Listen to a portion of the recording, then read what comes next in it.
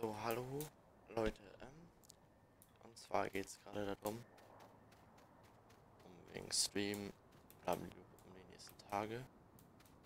Und zwar vielleicht die Leute, welche den Stream heute nicht gesehen haben und nicht dabei waren. Ähm, ich bin ab, äh,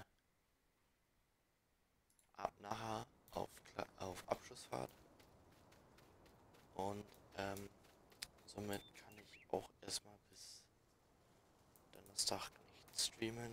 Donnerstag und Freitag wird auf jeden Fall ein Stream kommen. Samstag muss ich leider schauen, ähm, da wir Samstag in Urlaub fahren. Ich weiß jetzt gerade nicht ab wann, ob es gegen Abend